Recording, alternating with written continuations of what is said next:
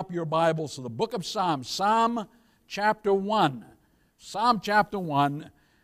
You know, I, I came up probably with, I don't know how many different titles for this, but I wanted to name this to encourage you characteristics of a successful believer. Characteristics of a successful believer. Psalm chapter 1. Let's all stand up, please, with the reading of God's word.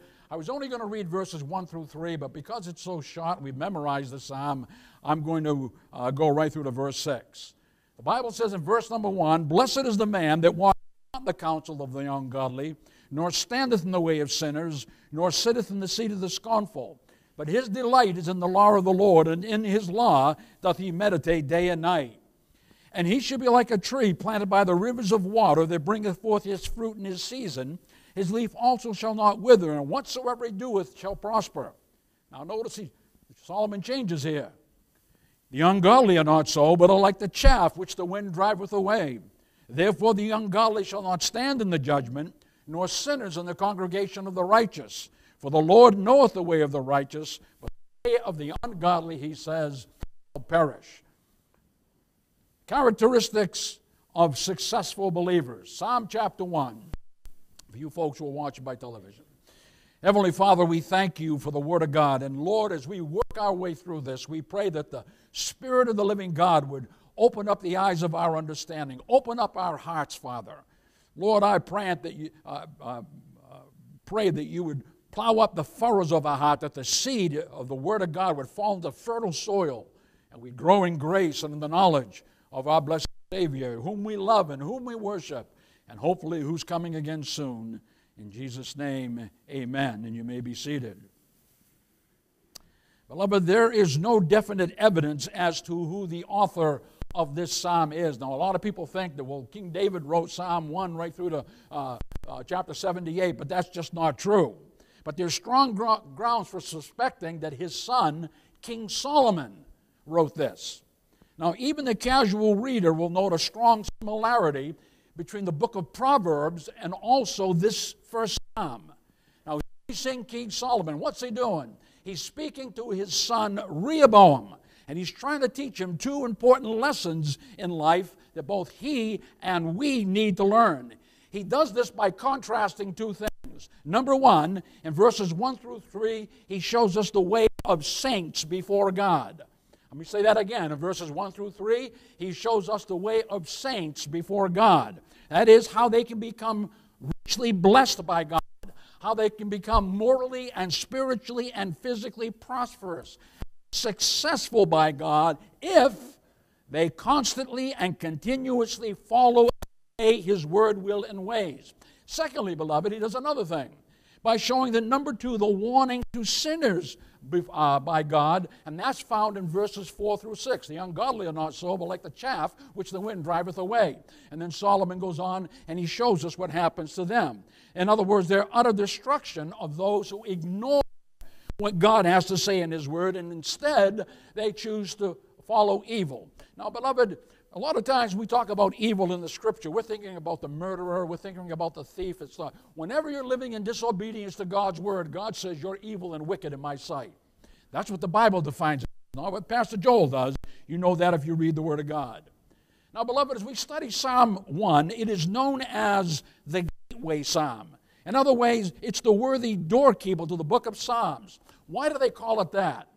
Because as you read this psalm, it sets the tone for all the rest of the psalms. It speaks about how God's going to deal with those who he calls godly, and also how God is going to deal with those whom he calls ungodly. Now, beloved, I emphasize the word and the pronoun he, not me, but what God says is godly and what God says is ungodly. Amen? I mean, the book of Psalms is filled with it, beloved. And that's why, as you read the book of Psalms, it almost sounds like Solomon wrote the whole thing because there's, there's so many different parallel, Hebrew parallels, synthetic parallelisms, parallelism, and uh, synonymous parallelism, antithetical parallelism, B line, B line, and stuff like that. But the fact of the matter is, God is showing us constantly the contrast between these two groups of people. And He wants us to understand that. So, beloved, here we find insight to what makes a believer successful and why he receives the blessedness for living a holy and righteous and godly life. And it also teaches us the temporal and eternal danger of just living for, our, for sin or for self or for this evil world system. Remember, beloved, Satan is not the God who controls all of this world. He's the God, the Bible says, of this present evil world system. You can find that in Galatians chapter 1, verse 3. Okay? He's the God of this evil world system. The glittering glitter is everything to attract your mind, attract your soul, to get you away from wanting to submit and surrender and follow the Lord. That's the battle, isn't it? It's always been the battle if you studied the Word of God. Now, there are many yardsticks by which men measure success. For example, some measure success by riches and wealth. They say, I must be very successful uh, because I've got all money. Some measure success by power and position. Some measure success by reputation and prestige. And beloved, these are indeed all indicators of some type of worldly success, good, bad, or indifferent. In other words, when I grew up, I grew up with people I knew that were in the mafia, okay, and they were rich as anything, okay, but they didn't, it wasn't legal the way they got their money, but they were rich, and I wasn't going to tell them not to do it. They would have put one right here, okay, so I didn't do that. But however, measuring our spiritual success, now that's the sine qua non. Because as a Christian, it's a little bit more difficult to measure your spiritual success, isn't it? Often there's a little tangible, visible evidence that you can put your hands on to prove that you are living a successful Christian life. And, ladies and gentlemen, generally we see that success for a believer is more internal than it is external. I want to give you an example. If I don't, oh, my wife's here, I won't embarrass her. My wife grew up uh, in a good home. Trying to lead her to the Lord is one of the toughest things I ever did in my life. Why? Because I was a rascal.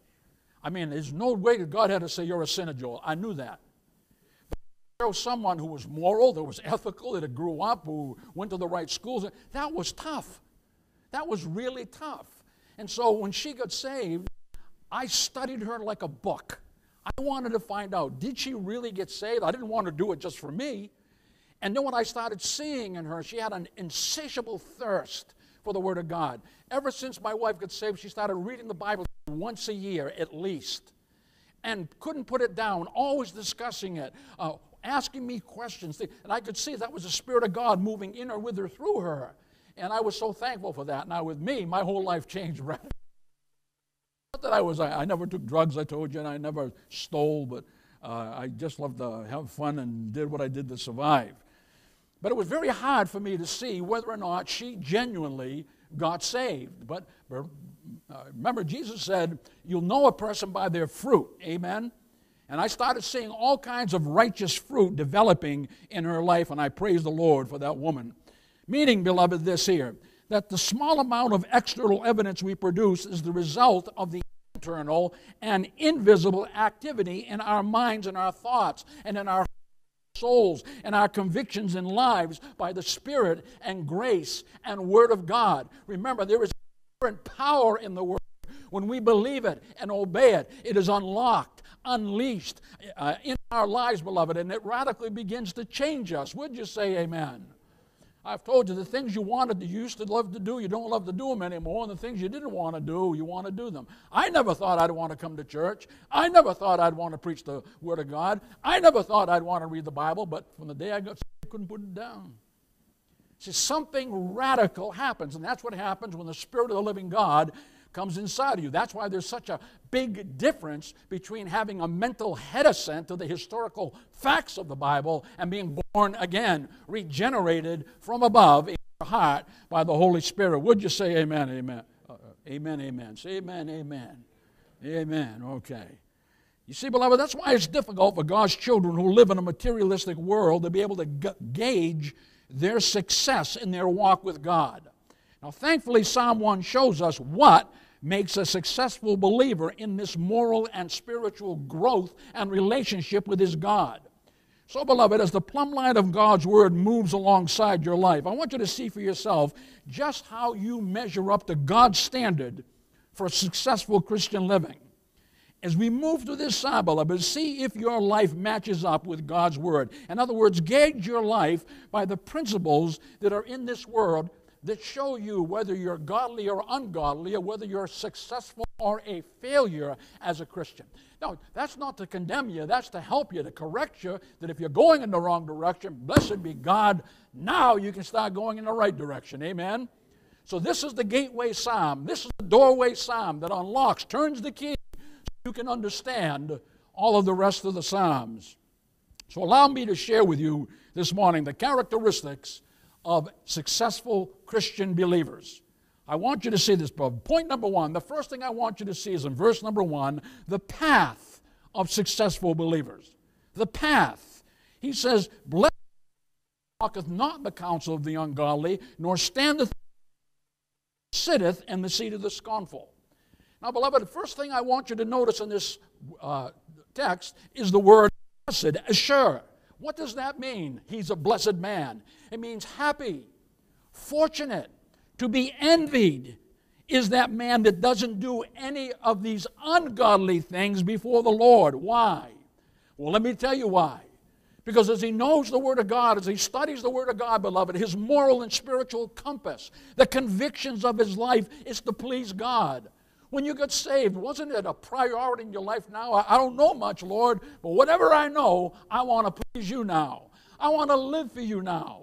I remember when I got saved, uh, uh, uh, I just had a heavy burden on my heart, and noontime at my store was very, very busy, and everybody would come to get all kinds of stuff, but I just had to go out and be with the Lord. So I started walking down along the waterfront, locked it up, put a sign up, gone fishing. Everybody knew me, so they knew that I was kidding around, I'd be back. But I can. I have to do a 180 right now. I mean, I had my plans all set out what I was going to do, and I said, whatever it is you want me to do. And uh, of course, ultimately, I got into the ministry. But I, I say that to you, beloved, because probably two months ago, I said, Lord, this has been a heavy burden. And I'm not a young man anymore.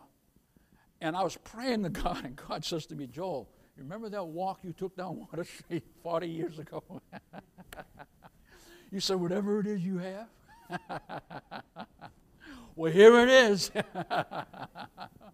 But he, imagine that he spoke to me as clear as a day, uh, Isabel, uh, beloved, and he reminded me of that prayer because I just wanted to serve the Lord. My heart was, Lord, you're real. I'm, you're so real to me. I feel like I could touch you. So, beloved, this man Blessed is the man that walketh not in the counsel of the ungodly, nor standeth in the way of sinners, nor sitteth in the seat of the scornful. For his delight is in the law of the Lord, and in his law doth he meditate day and night. You see, beloved, therefore he's blessed by God because the path his feet trod in life is to always try to walk on the narrow road to heaven and not on the broad road to hell. Would you say amen? You see, beloved, the broad road to hell is the path most traveled by the people of this world, and sadly, most don't even know it. They're going about their business, making money, going their careers, and they don't have a clue, not a clue of what's going on. They're one heartbeat, one breath away from meeting the creator of the universe. Don't have a clue. I didn't have a clue.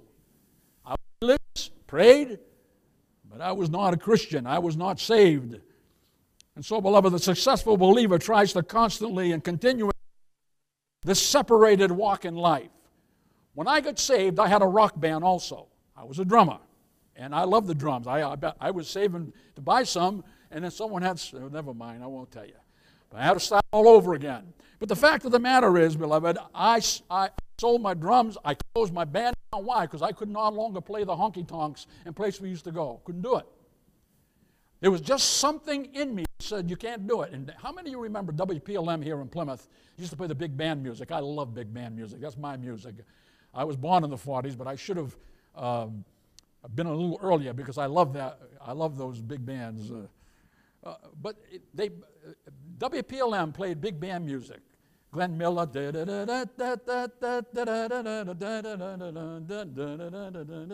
I love that kind of music. Now, when I got saved, I got in my truck one day and I turned it on, and there was a rock song on. And I used to love rock and roll. And some of it used to be good, okay? I, haven't listened to the kind of music, I don't know how many years, at least a week. Uh, but you know, I couldn't listen to that anymore. I had to turn it on to WPLM. And I can remember my mother saying to me, Joel, why don't you play like big band? I got my rock band right now. why don't you play? You know, she was right. That, that is, they were skilled musicians in them days. Today you can't make uh, heads or tails going on. But the fact of the matter is, beloved, I knew that I had to separate from some things. So what the psalmist, what Solomon is saying here, is that the godly man tries to separate from sin and temptation.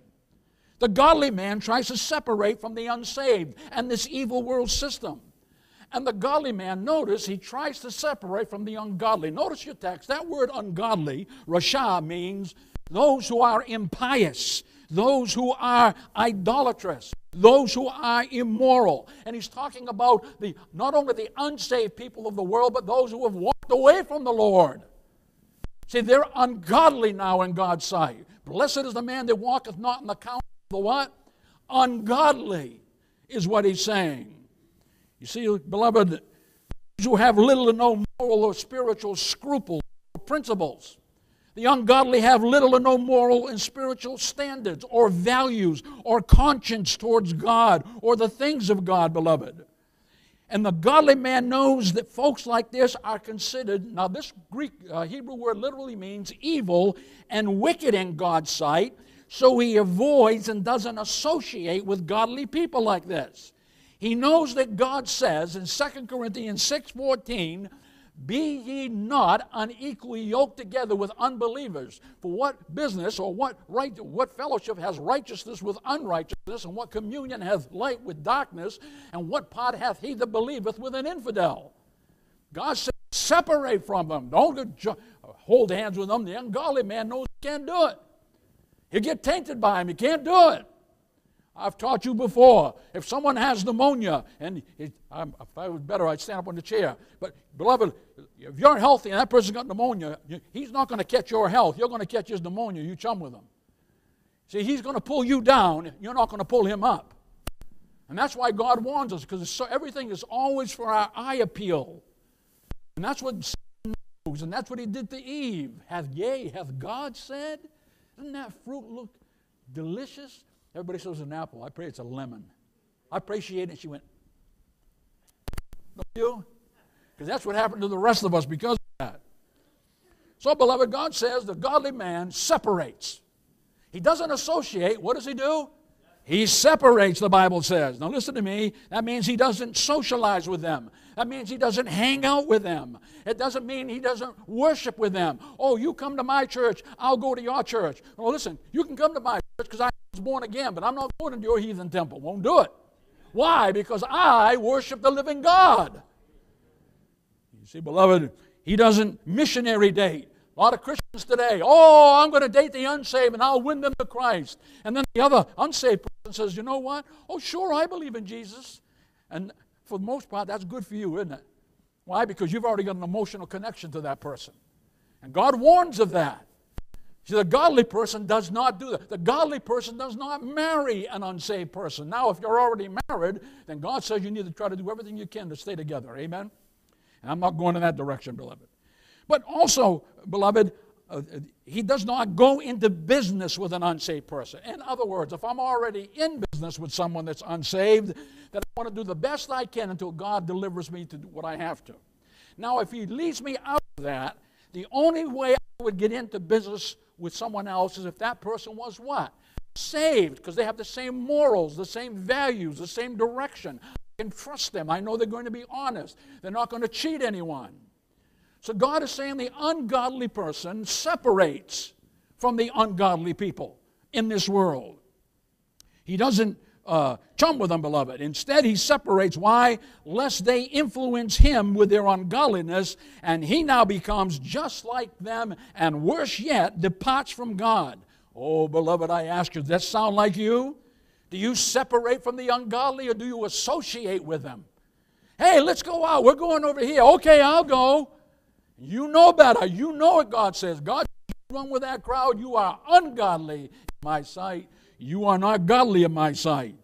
So, what am I saying to you? I'm saying the, the uh, successful believer separates, not isolate himself from the unsaved. In other words, beloved, all of us have to work with unsaved people. I've got a lot of unsaved friends. But you know when they call me up and they say, hey, JB, we're having a party. I said, you know I can't go there. I'm a heathen, right? You said it, not me. well, I said it to him originally. That's why he said it back to me. heathen like I was, I said. But uh, you, you, see, beloved, we're all, we can't get out of the world. We need to be the salt and light in the world. Amen? And I'll tell you right now, I'd rather work amongst unsaved people than Christians. Why, Pastor? Because I want to win them to Christ. I want to get out there. You know, you get strong as a spiritual warrior when you start locking horns with the unsaved. Amen? And they see your testimony. I had a guy come up to my house on a Christmas Eve knocked on my door. And I, when, I, when I sold my businesses, and uh, I, I still helped the guy make the transition. And he came to me. This is from my lips to the Lord's ears. And my wife would verify it. He says, There's something different about you. What is it? I said, I'm a Christian. And he sat down on Christmas Eve. I led that person to the Lord. The following week, I baptized them. And to this day, this guy's a big computer expert, and he sends me cards from all over the world. And he's still walking with God. Praise the Lord. Amen. But he said, There's brother, it, it, it's God in you. It isn't that something was me. I mean, it was God is changing you.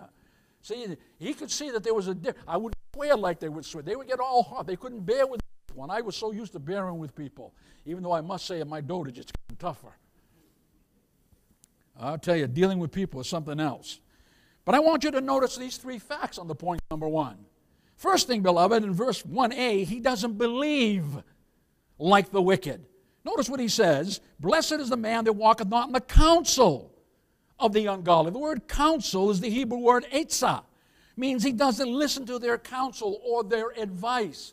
He doesn't listen to their invitations to do evil. That is, to do the things he knows are absolutely forbidden by God and are contrary to God's word, will, and ways. A lot of people invite you to do a lot of things. Now, they stopped inviting me a long time ago because I wouldn't go. I said, Thank you very much for your invitation. I really appreciate that. I said, But as a Christian, I just can't do it right now. And I, I just wanted to be upfront with them, beloved. That way, there, so we, we haven't, Ellie and I haven't gone to a cookout in 50 years. No, I'm, only kidding, beloved. What I'm saying is the, the godly person, beloved, his hearing is tuned into God's frequency and his allegiance is to the godly path of his Lord. So notice in your text it says he doesn't walk. Circle that word. Walk. Halek. It means he doesn't listen to or follow their persuasive counsel and pleadings with him to do such ungodly things because he knows it will displease and disobey his God and it could jeopardize and endanger his soul. Oh, come on. Everybody else is going to be there. Why don't you be there too? You know, we're going to have so much fun. Come on. Huh? You know what I'm talking about. If you do, say amen. And therefore, beloved, the Bible says about the godly man in the book of Psalms that he hates every false way. Now, listen to me now that he hates the moral and spiritual filth and depravity of this world, that he hates the sinful schemes and plots and pleas, that he hates the ungodly walk and counsel to pursue the vile course to fulfill the lust of the flesh and now disobey and defy his God, beloved, so he doesn't run with the devil's crowd. All my friends that I grew up with, all of them, beloved, and I love them to this day, and I, I still talk to them. They email me, but, but I don't run with them anymore because I know I love to have fun, and, and I know I can get carried away, and I just won't do it. I just won't do it, beloved, and that's what God says. You listen to me now. Ungodly sinners, the Bible shows us, have chosen to pursue their own evil ways, their own evil path in life. It is my life. I'll do what I want to do. I'll go where I want to go. Don't have anybody's going to tell me anything. And yet the Bible says we're all under authority to someone. Amen? Amen. Oh, beloved, how thronged that broad way is, how crowded that evil way is, how deadly that evil way is. So the blessed man first wants no part of it. He doesn't want to do that, beloved. They keep their feet unsoiled from their evil counsels and paths and ways. In other words, a successful believer does not believe like the wicked believes, nor do they have the same moral and spiritual value system. They know that when they got saved, they became children of the living God and not children of the devil anymore.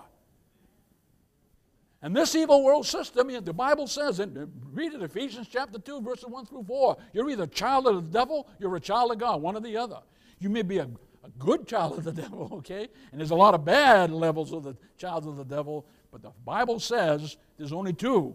There's only two places you can be, two groups. You can't straddle the fence. You can't walk like this, one foot over here, one foot over there, and go back and forth.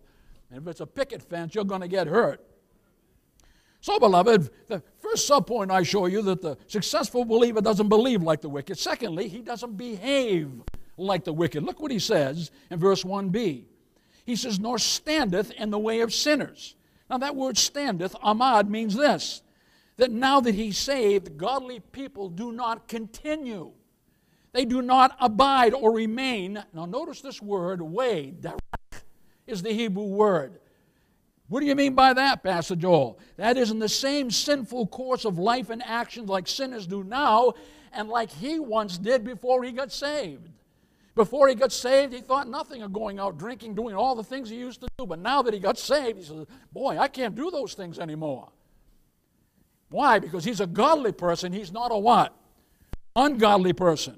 And that's why 2 Corinthians 5.17 says this. It says, Therefore, if any man be in Christ, he is a new creature, a new creation. All things have passed away, and behold, all things have become new. Come on and say amen out there. All things have become new. New morals, new nature, new heart, new thinking, new convictions. You see, all things have been. Why? Did you just turn around and reform the old man? No, I've taught you. The new man God supernaturally placed inside of you. So successful believers know that the old man and all of his old sinful ways died and were buried at baptism with Christ, beloved. And he's now been put away forever. And he's put on the new man with all of his new ways. And beloved, that these new ways now love God's word, will, and ways. They now love God's truth. They love the virtuous moral and spiritual paths. They love the narrow road of living a holy, righteous, and godly life to bring God all the glory, praise, and honor. So they don't act and behave like the ungodly any, anymore. Why? Because they so love and adore their Lord that it now pains them to hurt him. I know when I do something, beloved, and I, uh, I had someone cut me off the other day and they, they showed me an appendage, right? I said, if you only knew who you're dealing with, right? And I, I could see myself snapping it backwards, putting it in my And I got on my knees that night and said, oh, God, help me. He, he just raised that beast in me that I've been trying to suppress. I didn't say anything. I, I didn't sweat, wanted to. I said, you know, it feels so good now, Lord, I can let it rip. but I didn't do it. but you know, beloved, I, I knew that I didn't want to hurt my Lord. And I said, Oh, forgive me, Father. I'm glad I never had a confrontation with a person because I want to maintain my testimony as a Christian and as a pastor. So, beloved, what am I saying to you? I'm saying this. Listen to me now. When the ungodly say, hey, let's go party, they don't do it. Question is, do you? So when the ungodly say, hey, let's go get high, we're having ourselves a party, they don't do it. Question is, do you?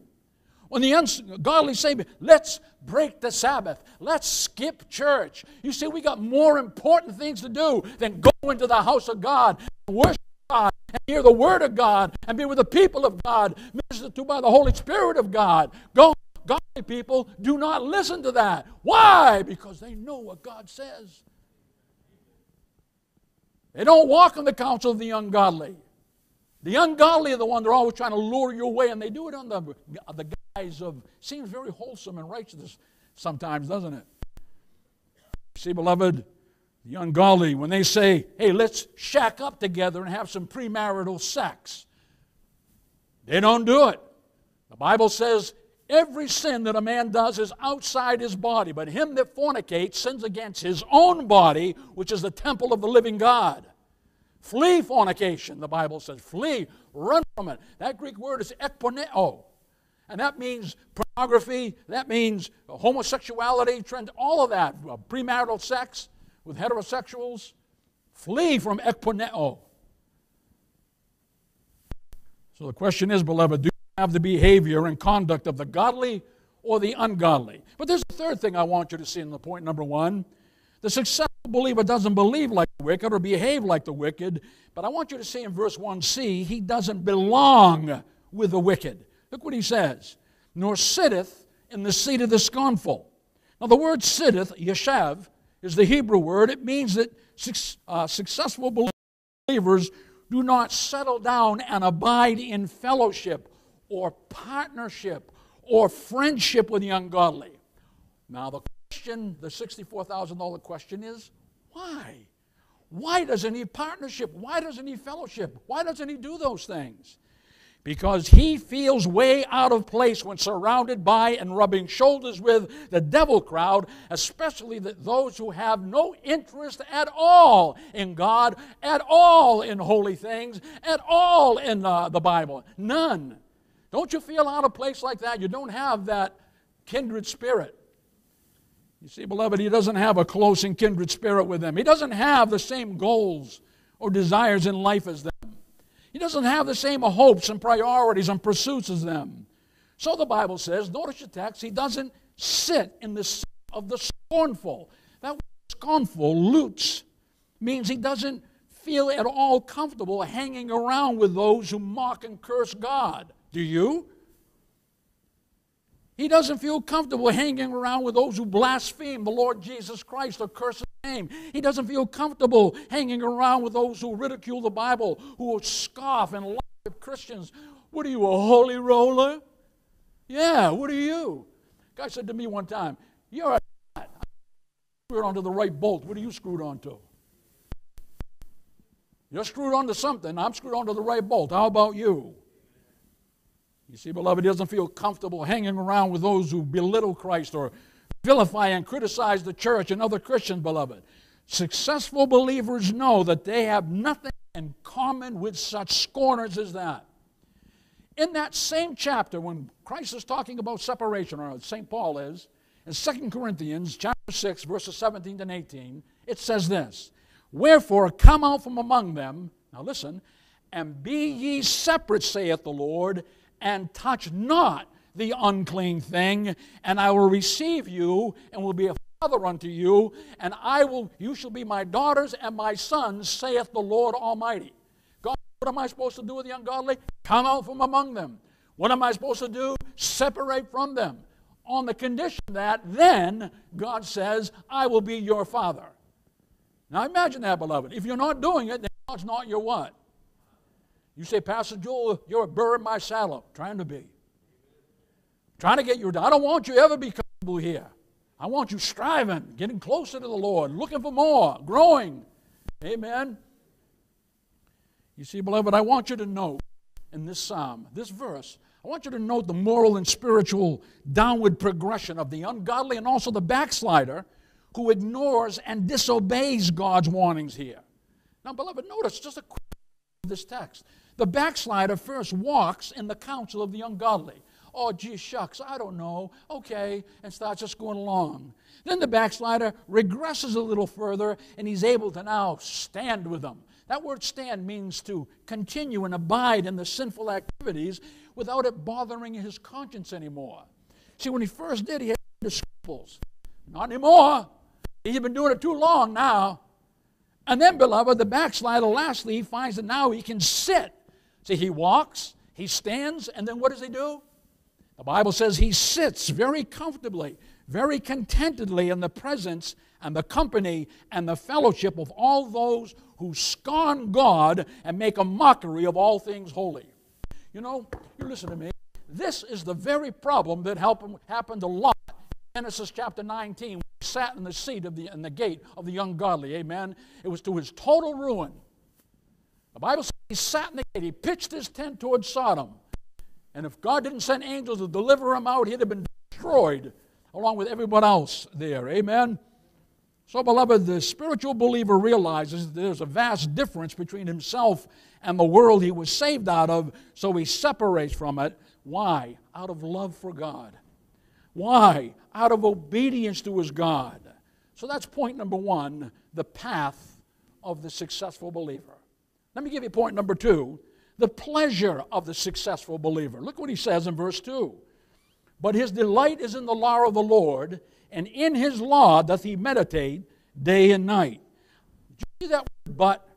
But, that means contrast to, but, conversely to what's going on in verse number one, he says, but what gives him great delight, that word delight, hefetz, the Hebrew word, what gives him great joy, what gives him great pleasure and happiness in life is not throwing in his lot with the plans and the counsel of the ungodly, as mentioned in verse number one, but it's in him reading and obeying and knowing Torah Yehovah.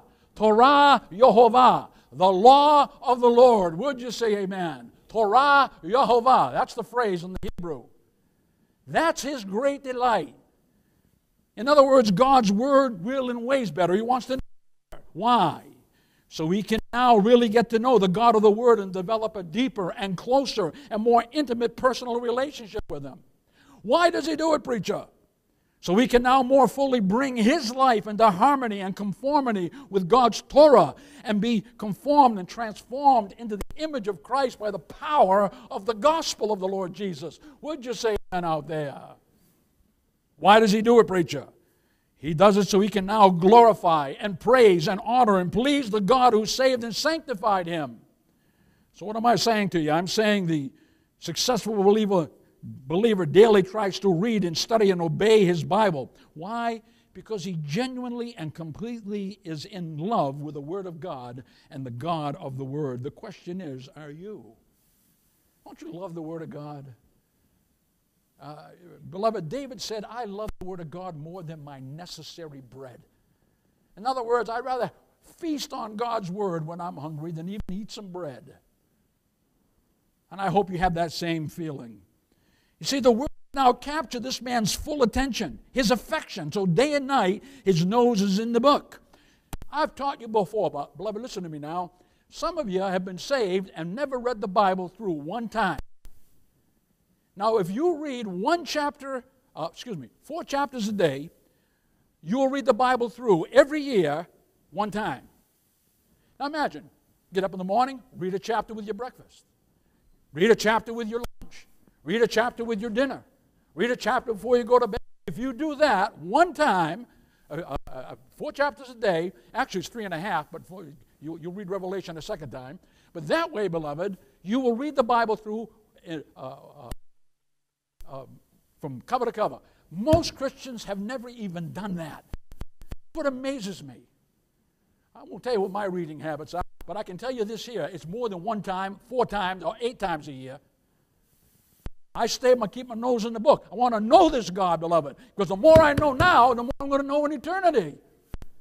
Would you say amen out there? You see, you don't know how to ask the right questions unless you've got some knowledge behind you. Amen? I don't mean just here, I mean when you cross over to the other side.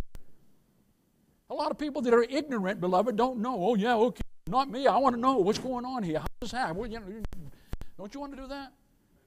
And you're only going to know it by having the blessed illuminator, the Holy Ghost, the resident teacher inside of you, lighting up the Word of God in your life. Come on and say amen out there.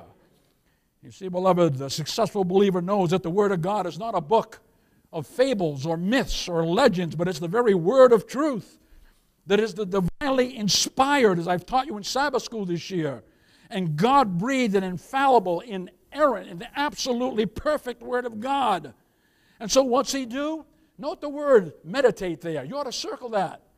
It says he meditates. That word is haggah. It means he chews the cud like a cow. To meditate means to chew the cud. Now, a cow has two stomachs. So he's out there grazing. 20 minutes later, what does he do? I know it won't sound gross. But what does he do? He burps it up and what? Chews it again. And then he swallows it, burps it up. And what does he do? He chews it again. Meditate means to do what? Chew the cud. Chew the cud like a cow. Now listen to me, beloved. It means he constantly and continuously contemplates the Word of God. That he deliberates and ruminates in the Word of God. And he's always, beloved, bringing his mind, his thoughts, pondering about it, thinking about it. So, like King David in Psalm 119, 97, he too can now say this Oh, how I love thy law! It is my meditation all the day long. I meditated it at night. King David, remember when he was old with furrowed brow and gray hair, he thought back with his days when he would at night watch the sheep. I can just see him looking at the nocturnal heavens as he's leaning back on a stone or something, watching over the sheep, and he's praising God. All the Psalms that David wrote, praising God, blessing God, lifting up his hand, Oh God, uh, in Psalm 8, Oh God, my God. He shows how God created the whole earth, the whole universe, everything in it. And he's praising God. And so uh, he meditates in the Word of God day and night. And so the godly person, beloved, loves the Word of God and he lives in that Word of God. And he finds within his pages everything he needs to help him grow, mature, become a discerning Christian. So many Christians have no discernment whatsoever. Somebody will say, I believe in Jesus. Well, the devil believes it and he trembles in James 2.19. At least he trembles. A lot of Christians, professors don't. That doesn't mean anything. That isn't the acid test to know whether or not you're a Christian, is it? You say, Preacher, I'm getting hot. I'm going to hit you. You have to wait in line to hit me. You have to wait in line, and it's a long one, too, unfortunately. You see, beloved, he knows his soul needs it. So he meditates on it. Do you? He knows his spirit needs it. So he meditates on it. Do you? He knows his mind needs it. Be transformed how? By the renewing of your mind. Romans 12, 1 and 2. He knows it is salvation. His life needs it. So he meditates on it. Lord, help me to think like you. Help me to act, react, interact like you. Dear God of heaven, I don't know enough to do this. I need your grace. I need your wisdom. I need your knowledge, Father. I need discernment that comes from the throne of God. Would you say amen out there? And so, beloved, the scriptures are like a soul refreshing feast to him. So, day and night, his thoughts crave and cling to the Word of God. So, do you consume and meditate on God's Word like this? That's point number two. The pleasure of a successful believer. Well, we've seen the path of a successful believer, the pleasure of the successful believer. Now, let me give you point number three, beloved the prosperity of the successful believer. Look what he says in verse 3 And he shall be like a tree planted by the rivers of water that bringeth forth his fruit in his season. His leaf also shall not wither, and whatsoever he doeth shall prosper. Now, the promises in this text, in this verse, are all conditional. When we live separated lives, when we feed our souls on God's Word, then we too can expect these good things that happen to us. Now, I want you to notice the four things that happen here. First of all, in verse 3a, his planting. He uses an example from horticulture here. Look what he says in verse 3a. And he shall be like a tree planted by the rivers of water. Now, the word planted, shathal, in Hebrew, it means to be deeply embedded and ingrained like the roots of a tree so it grows sturdy and strong, beloved, as it constantly and continuously drinks from the water. I've got, a, I've got different gardens around my house. And I can tell you by uprooting some things, when those roots find water, they just start going right toward it. And you can pull a plant out of the ground. If this side is dry over here, the roots will be three inches long. If the water's over here, there'll be six. You know, like I caught a, I caught a fish one time. He said, How big was I? I said, The picture weighed 15 pounds. well, the roots are long, is what I'm saying to you, right? You, you, see, beloved, uh, what I'm saying to you is this right here is that tree knows if I'm going to live, if I'm going to bear fruit, if I'm going to have some leaves, then I need some water. Would you say amen out there? You see, beloved, trees planted by rivers are never dry. Trees planted by rivers are never wilted, are always green, and they're lush and they're lovely, beloved. The successful believer knows that if he lives close to God, who is the very river and water of life, the Bible says, he will never become morally and spiritually dry and wilted in his walk or in his faith with God. So many of you, listen to me now, hear me, don't, don't miss this. Sin will keep you from the Word, and the Word will keep you from sin. People who have dried up, wilted spiritual lives because their nose isn't in the book. They're not getting the water of life. They're not sitting next to the river of life. And so they wonder why their life inside them is fading away, why it's wilting. Green and lush and lovely, beloved. So, beloved, this person that does this, the godly person, he knows he'll be spiritually alive and vibrant and productive and uh, faithful, beloved. Why? Because he drinks and he draws all of his moral and spiritual strength and sustenance to supernaturally nourish his faith and soul from the endless river of God's Spirit and grace and Jesus Christ, whom the Bible says is the water and river of life itself. Okay? And he knows that. Oh, I ask you, does it sound like you? You just go, I, got, I, I, I really got to get up and do this. I got to get my coffee before I go. I get, you know, and I, I get three verses down. Oh, beloved, God help you. You need to get your priorities straight, right? Seek ye first the kingdom of God, and God says all these other things will be added unto you. Get your priorities right, what the Bible's saying. Seek ye first, not second, not third, not fifth. Seek ye what? First. Say it again. Seek ye first the kingdom of God and his righteousness, and all these things, the Bible says, will be added unto you. So, what are you saying to me, Pastor Joel? I'm saying, are you planted as a flourishing tree by Jesus? The river and water of life, beloved? Are you constantly drinking from His Word? Drinking it up? Or are you moral and spiritually dry and wilted and dying on the vine? You know, beloved, unlike some plants which live for a season and then die out, this tree in the text has sunk its roots deep and has a hidden source of supernatural life. Therefore, this tree is permanent and not temporal. Therefore, this tree is enduring, it is not fading. Therefore, this tree is undying, it is not short lived. Hey, I asked a question this morning Does it sound like you? Does it sound like you?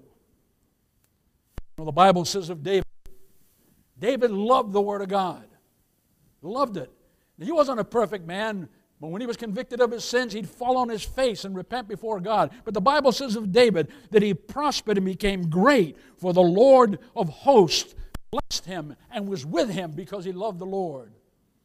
The Bible says of Joseph, Joseph loved the word of the Lord. And the Bible says the Lord made all things that he did to prosper in his hand because of it. Imagine, beloved, being 17 years of age. Old must have done something right because this guy goes down into, sold into slavery in Egypt, and yet he doesn't want to defile his God. He lives a holy life. Seven, a teenager. Potiphar's seductive wife tried to get him to shack up. Not so. How can I do this great sin against my God and against your husband? I won't do it. Most, most 17 say, my lucky day. That's what they would say, right? Oh, beloved, what am I saying to you? I'm saying this. This guy prospers. But secondly, I want you to see, beloved, not only the planting, but I want you to see his productivity. Look what it says in verse 3b. He says, that bringeth forth his fruit in his season. Notice this successful believer lives a very successful or fruitful Christian life. His life is filled with the fruits of the Holy Spirit. Galatians 5:22 love, joy, peace, long suffering, gentleness, goodness, faith, meekness, temperance. Against such there is no Christ have crucified the flesh with affection and lust thereof. If we live in the Spirit, let us walk in the Spirit. See, his life is filled with love, joy, peace, long suffering. Beloved, all of us have complicated lives. Everybody does. I have a complicated life, and I got feelings too, you know. A lot of people think pastors don't have feelings. We all have it. But you know what? In the midst of it, I have peace and joy because I say, Lord, this, this is out of my hand right now. I've done all I can do. Now it's up to you. you are going to do it. Ah, they're going to get mad at me. time. When I was in court, if you uh, looking at my thing on uh, the other day, March, for some reason the judge and I hit it off really well. So when I went to the, you know, picking the judge, I went up there and they had the prosecutor, they had the defense attorney, and then the judge was up kind of He's looking down at me with his glasses like this, and he says, uh, "Everything you said recorded." I said, "Your Honor, you're not going to blackmail me, are you?" He says, "Why would you say that?" I said, Why am I being taped? So he started laughing, whatever like that. But then he says to me, Have you ever been accused of any crime? I said, I'm a preacher. I've been accused of everything. He says, You have? I said, Yeah, but I haven't been convicted of any. He says, You ought to be a lawyer. yeah. yeah, I've been convicted. I've been accused of everything. I'll never forget one night my wife and I were at home and my back was killing me and I was rubbing my back and the phone rings. This seductive voice says, You know, your husband's out with me tonight. And I says, Oh, he is? oh, yes. he's a great guy, you know. I don't know what all this stuff. She said, geez, I'm rubbing his back right now. Don't you wish you could? but all kinds of, brother, I'll tell you, everything they do, they try to entrap you. I, I mean, whenever you preach the word of God, Satan just gets so furious, doesn't he? But you see, beloved, his life filled with fruits of righteousness and holiness and godliness. His life filled with faithfulness and service and good works because he knows they bring glory, praise, and honor to God, beloved. He knows that this life is the only season. He bringeth forth his fruit in his season, the Bible says. And this is the only season you have in your life to bring forth fruit unto God. Would you say amen out there? So, beloved, he's a living tree, and fruit towards both God and man is plentiful and bountiful and he's a blessing to both God and man, all those around him.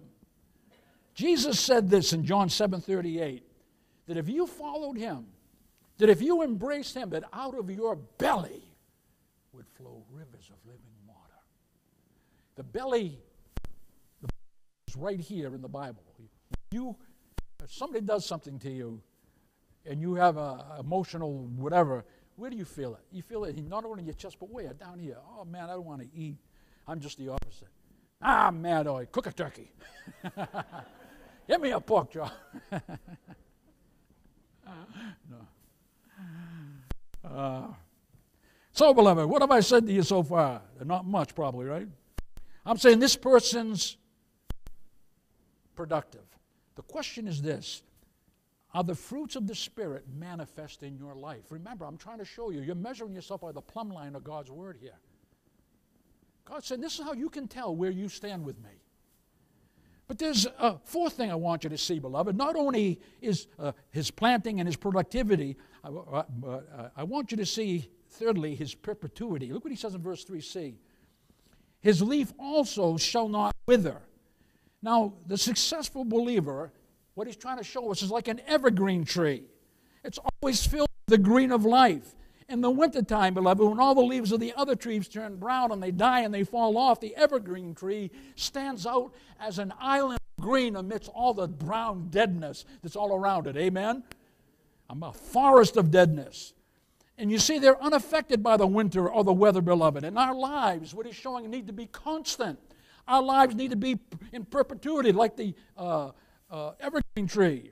You know, God calls us to be stable the hardest decision in life is indecision. People are so afraid of making a mistake. And, beloved, you, you, you learn probably more from your mistakes than you do from your successes, right? But you don't say, well, I, I, if you knew the answer to everything, you wouldn't need faith to begin with. So sometimes you just have to step out in faith, and if you fall on your face, you get up, knock it off, say, you know what, I tried. God has not given me the spirit of fear, but of power and of love and of a sound mind, 2 Timothy 1 7 says. So you get out there and you try.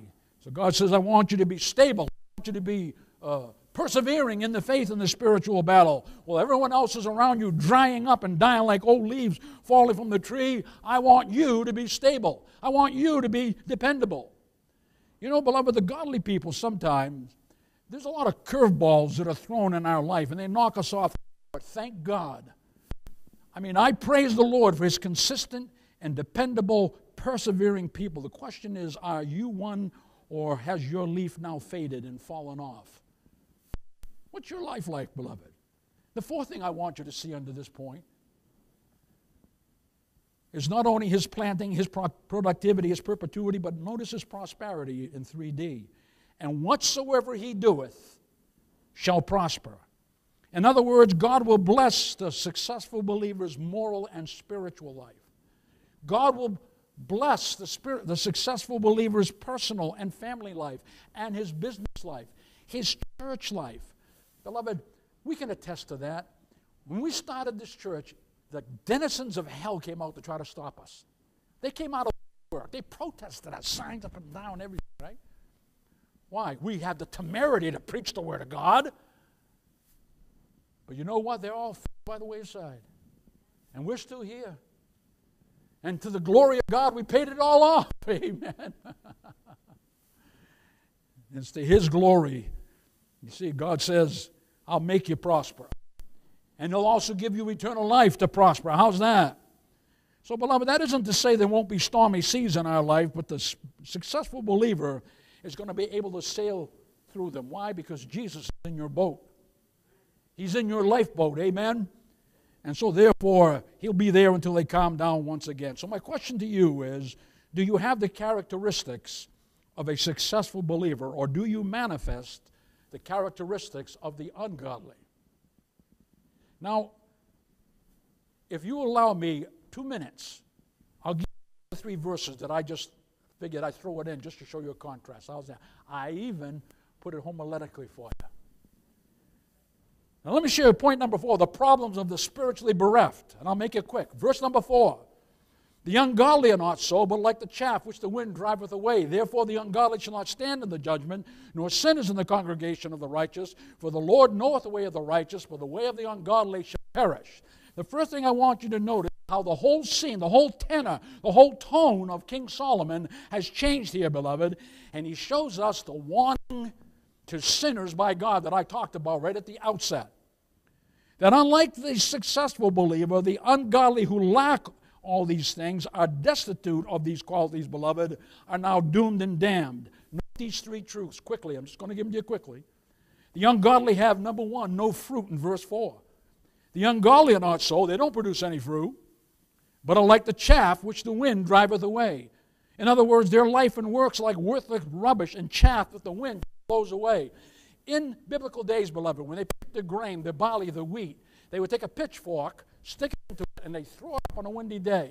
And the wind would go, and the chaff would blow away, and the seeds would drop down. They'd make a pile of, of, of seeds right there, right? God said the ungodly are like that. They've got no fruit. All they've got is worthless chaff. It's rubbish. Number two, I want you to see that the ungodly have no faith. Look what he says in verse 5. Therefore, the ungodly shall not stand in the judgment, nor sinners in the congregation.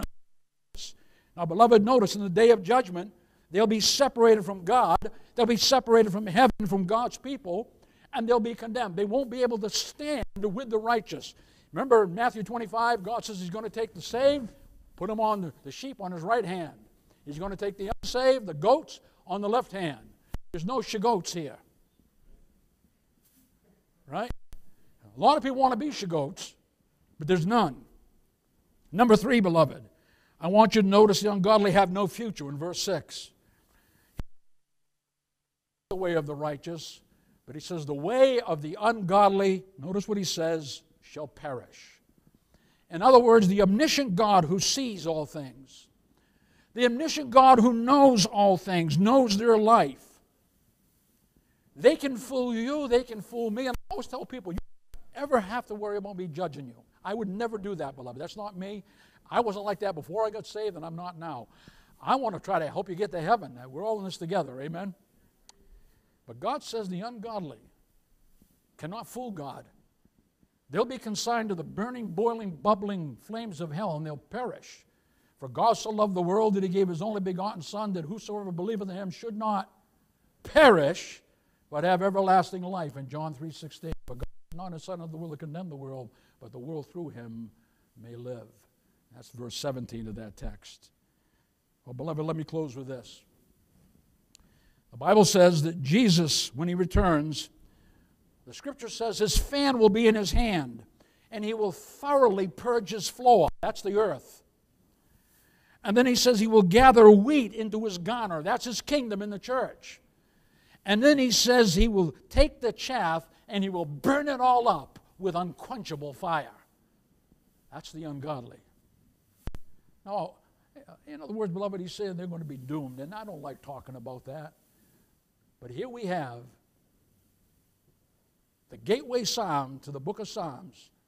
So as you read this, as you understand these principles, you'll understand Psalm 2. Why do the heathen rage? The people imagine a vain thing. The kings of the earth set themselves.